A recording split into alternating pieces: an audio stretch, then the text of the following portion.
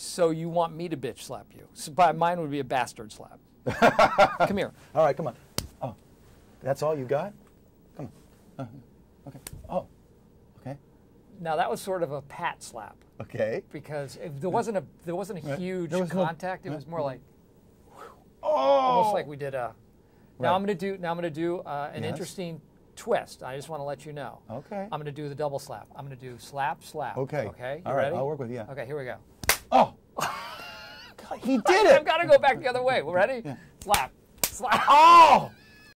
You're getting a divorce? Yeah.